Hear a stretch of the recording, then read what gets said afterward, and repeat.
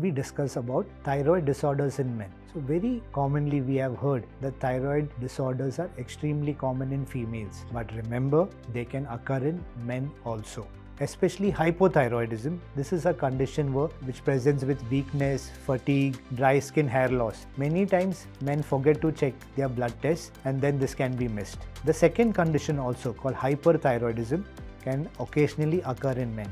Here the symptoms are weight loss, trembling, increased appetite, bulging of the eyes.